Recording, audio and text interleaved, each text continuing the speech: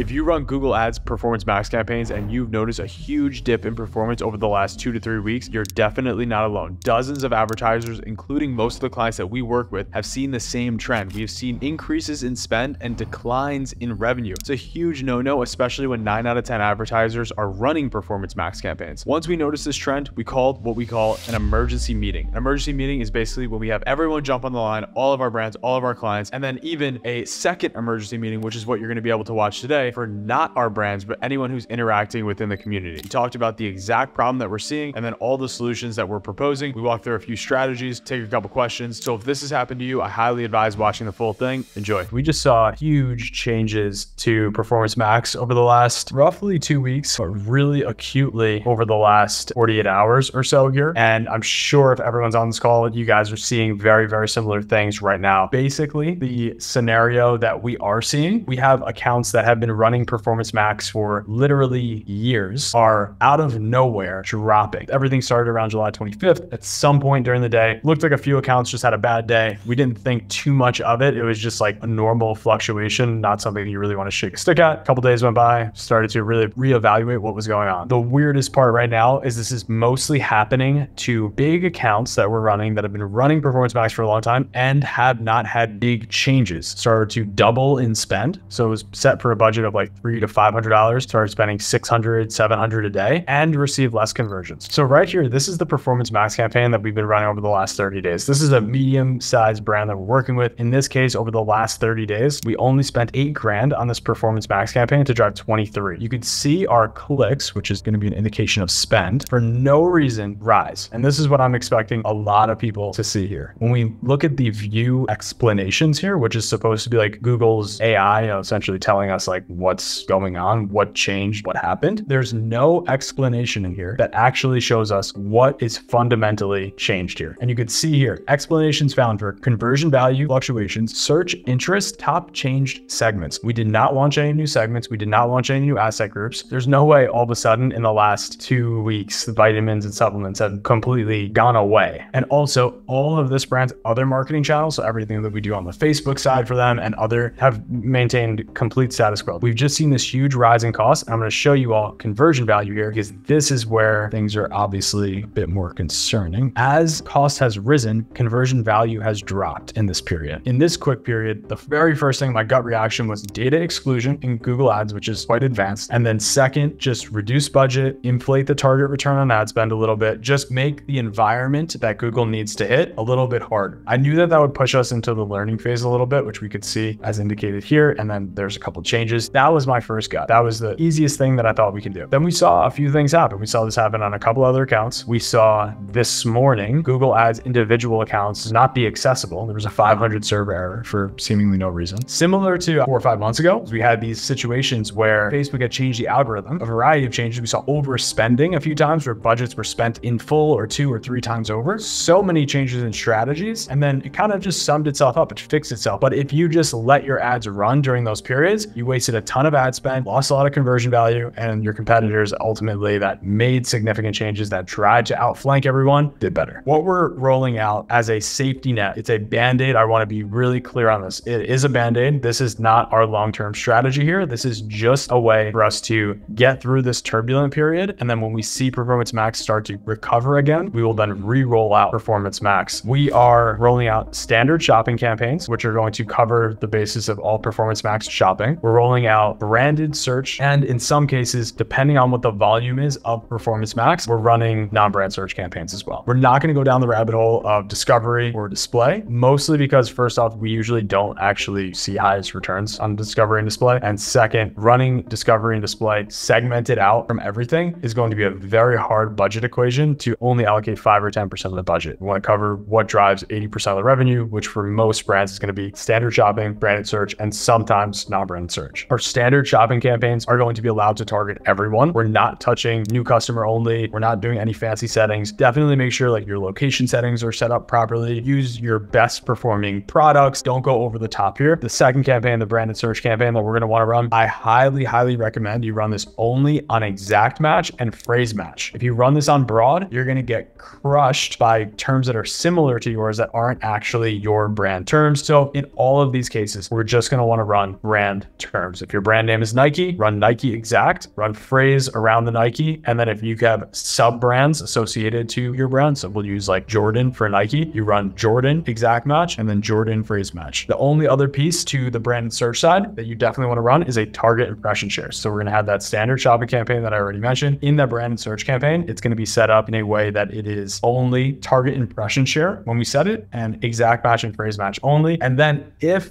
and only if you look into your Performance Max insights and you see non-branded search is something that drives a lot of revenue for you, 30% plus of the revenue from PMax, you could launch a non-brand search campaign. In the non-brand search campaign, you want to mix broad match and exact match, no phrase match. Hopefully we bring these back and we get to run Performance Max as quick as possible because from what we've seen, it's the best performing campaign nearly across all of Google. I will definitely keep people posted when we start to see these fixes in place. And if we definitely see any communication from Google, first off, I expect to see communication from Google about this because this is really rare for their flagship product to experience kind of such a, a wild run. I do want to offer up any questions, anyone that this is happening to, raise your hand in some way here and I'll uh, unmute you and give you a shout. When you're talking about these temporary solutions uh, pulling out, you know, for brand search and for standard shopping, for non-brand search, to confirm, are you normally not running brand search? Or are you keeping that as part of your PMAX as a standard setup? Yeah, a lot of the times we are running branded search. The smaller account that I showed you, this is an account that was relying on Performance Max because its branded search was so small. So we were actually comfortable not running branded search there. If you're already running a brand search campaign and a standard shopping campaign and you don't have exclusions on that standard shopping campaign, the easiest thing you can do is just reduce the PMAX heavily and shift cash into brand search and non-brand or the standard shopping campaign. As long as cash gets shifted out of Performance Max to the locations that normally return the highest for you, that's what I think is going to do the best. Donnie, I see you on video here. You have a question I can help answer? Yeah, no, we canceled Pro Max about three months ago because they were showing massive amounts of clicks for directions and calls. I own seven retail stores and we are very high ticket, but we're low traffic. And they were showing 21,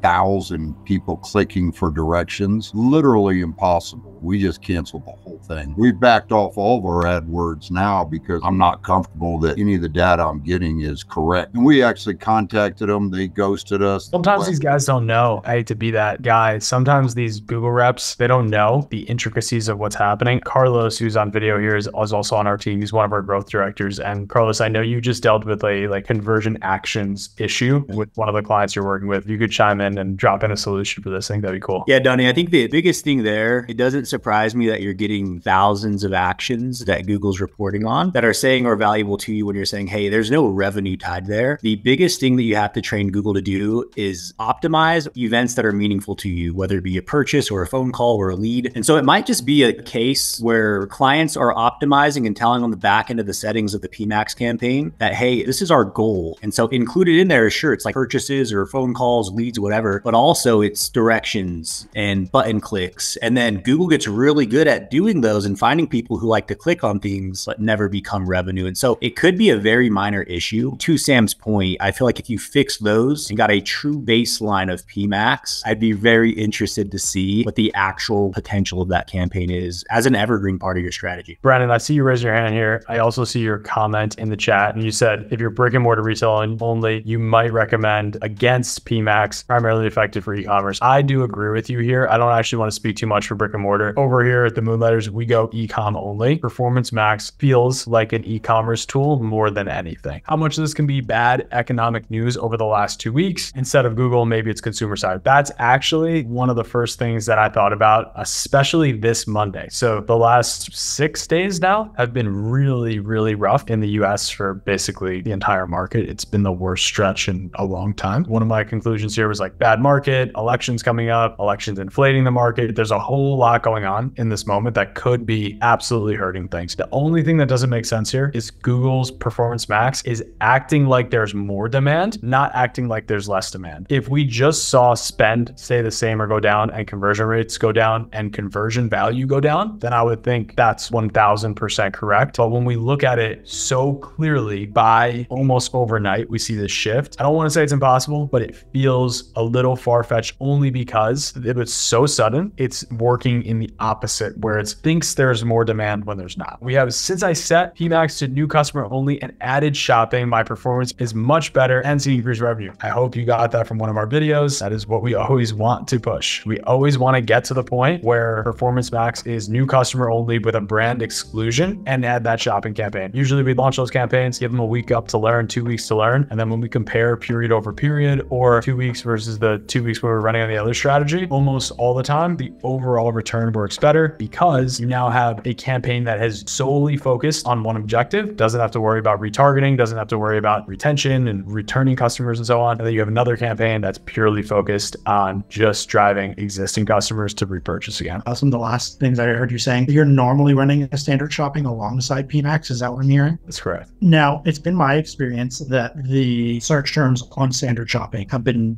broadened so dramatically over the last even like a couple years. It's been really, really difficult. How are you really optimizing that standard shopping when you're running it alongside PMAX? What we want to get to, now this is assuming Performance Max fixes. What we want to get to is we want this standard shopping campaign to be a brand only shopping campaign. Now, you Mhm. can't technically do that, but how you do that is you set these to new customer only. What's going to happen here is at first, when you set this to whatever target ROAS you set it to, it's going to be wide. It's going to go shoes, white shoes, red shoes, orange shoes. Eventually, you set your return on ad spend so high, the only thing that can convert that high is your branded terms. So it will repeatedly smash your branded terms here, have an extremely high conversion rate. Your ad relevance scores will be through the roof. You'll beat out all your competitors because it's only trying to do one thing. And you don't have to worry about retargeting. You don't have to worry about new customer acquisition with this because that's all completely handled by Performance Max. The machine is smarter than us, but we still need to set constraints because when we give everything to the machine and say, go spend our money and get us as much back as possible, it's going to look at everything available to it and it's going to try to squeeze out of everything. If we bucket properly, which is all structures are, are just bucketing things into appropriate places, and we allocate budget to the most appropriate place based on things that only you can know. Google won't know the exact customer term that is most relevant for your customer. It might know what converts the best, but it might not know what is yours uniquely. So that's why we like to break out just standard shopping. I hope that helped. I appreciate everyone hopping on here.